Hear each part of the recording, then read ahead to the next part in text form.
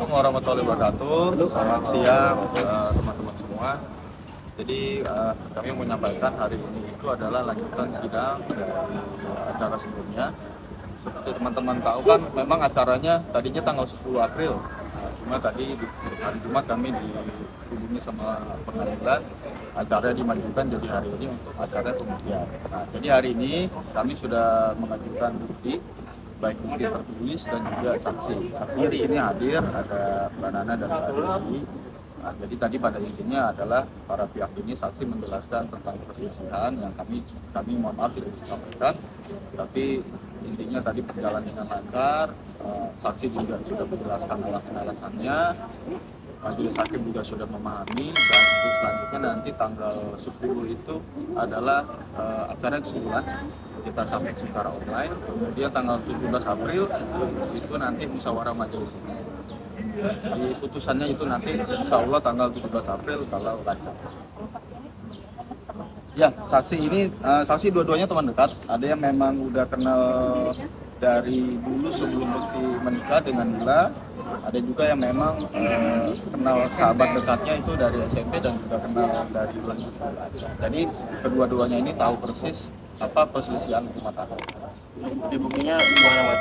Kalau bukti standar aja, jadi tadi kami ajukan bukti nikah, ada kartu keluarga, ada akta kelahiran dan juga surat kesepakatan.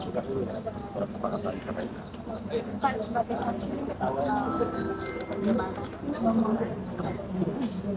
Oh ya, kalau di persaksian tadi di depan majelis hakim, aku menyatakan bahwa e, memang aku sudah mengenal e, Indra Bekti lebih dulu karena di dunia pekerjaan tertentu dan aku mengenal jelas kalau kita dia e, diperkenalkan oleh Bekti untuk menjadi calon istrinya. Jadi waktu jadi itu jadi kita udah berteman untuk beradaptasi dan kita banyak e, cerita lah sama aku gitu. Bagaimana perasaan dia, persiapan dia menjelang pernikahan dengan Bekti gitu.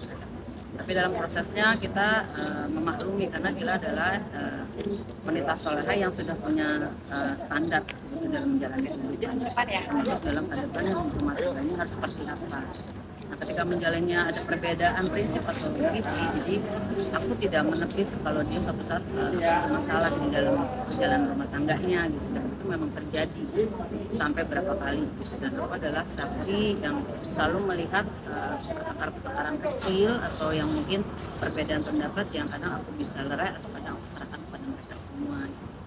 tapi alhamdulillah ya aku cuma bisa menyatakan apa yang aku lihat selama ini dan apa yang aku rasakan dari uh, dan aku mewakili perasaan seorang istri yang mungkin mengerti bahwa Gila maunya seperti ini sebagai seorang istri dan suami itu harus seperti ini. Tapi ketika menjalin yang tidak sesuai dengan apa yang dia harapkan ya kita juga harus